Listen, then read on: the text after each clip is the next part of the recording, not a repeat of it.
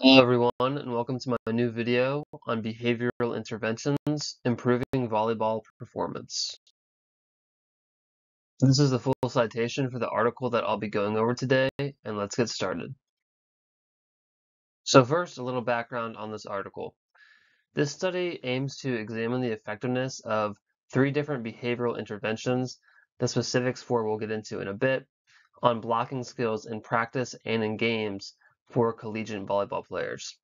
And this is important because it adds further knowledge into the impacts of certain behavioral interventions.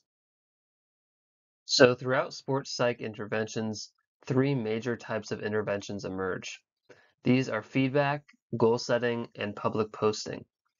And these are somewhat self-explanatory, but worth going into in a little bit more detail. Feedback is usually thought of as a verbal praise or verbal stating of whether one has done an action correctly. This can involve enthusiastic praise or constructive criticism. However, the authors of this paper note that research on feedback is a bit of a jumbled bag, and there is little agreement on what type of feedback is best for the athletes to receive. Goal setting is the idea of setting targets for an athlete to reach in order to motivate and focus them.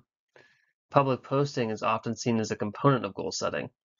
But this is the idea that performance feedback is open and publicly posted so that the athlete and others can easily see whether the target that they were aiming for was hit.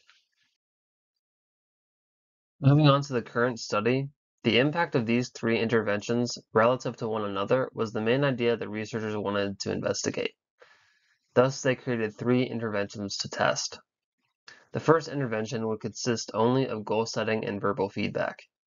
The second would consist only of public posting and verbal feedback. The third and final intervention would be a combination of all three techniques, goal setting plus public posting plus verbal feedback. So this study utilized three female collegiate volleyball players who each received all three of the interventions. The dependent variable for this study was the percentage of blocks by the participant in which the participant executed proper blocking technique.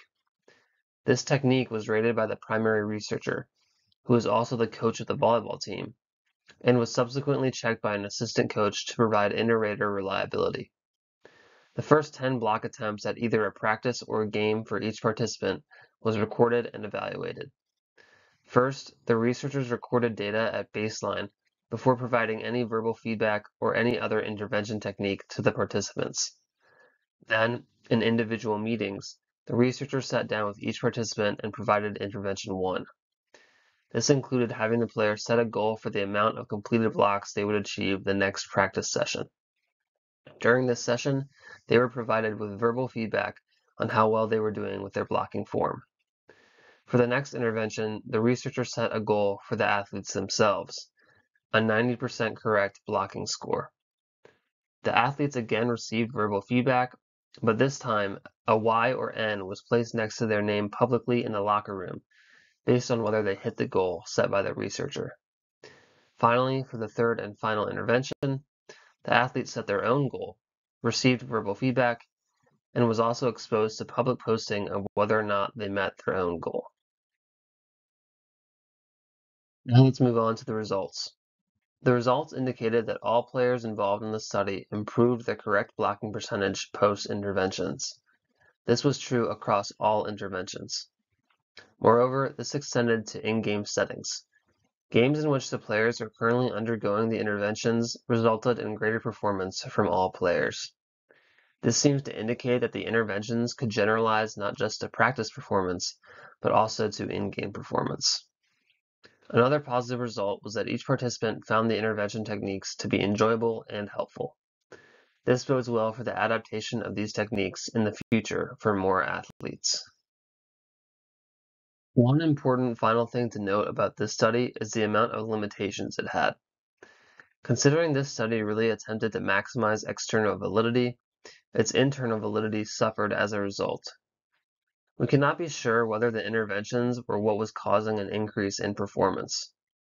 Other factors, such as fatigue, opponent skill, and interpersonal factors, may have contributed to the ebbs and flows of performance. Also, because each intervention condition included more than one technique, it's hard to parcel out which technique had the greatest effect. For example, we don't know whether verbal feedback was enough on its own to provide the improvements in skills seen throughout all three interventions, or if other techniques, like goal setting and public posting, were even necessary. Finally, here are some of my thoughts on this article. I honestly was a bit disappointed in the study design. Although it was cool to have high external validity, I really don't think this design, or really the type of statistical analysis they decided to use, yielded any possible unique findings for us to discuss. In the paper, the researchers did not mention whether one intervention had greater effects than the other intervention. That would be something I'd be interested in seeing, because that would let us know, at least potentially, which intervention technique was carrying most of the benefit. When looking at the graphs provided of the data, it appears that this may have been impossible to see anyway, due to a ceiling effect. Lots of the blocking during intervention times, at least for some participants, were around 90 to 100%, so it'd be really hard to compare success rates across intervention techniques. Overall, to be honest, I was actually a bit disappointed in the study, and I don't think it actually really tells us much about the effectiveness of these interventions. Thank you all again for watching, and I'll see you tomorrow in the next video.